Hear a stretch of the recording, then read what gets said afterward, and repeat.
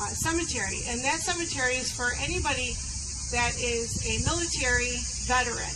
And those military veterans can be buried there for free.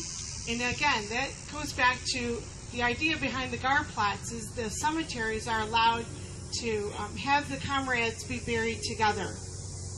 Uh, the GAR, that was uh, founded in 1866 in Decatur, Illinois, of all places, and it went throughout the country.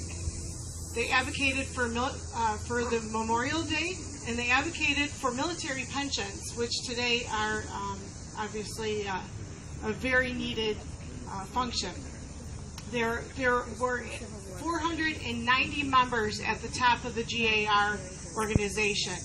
Um, today, in Plot 75 here, we have Louis Scheringhausen, Sophie Hahn, Kristen Herlai, and William Gothard are buried in our GAR plot. We're very um, honored to have them here in our uh, to be dedicated.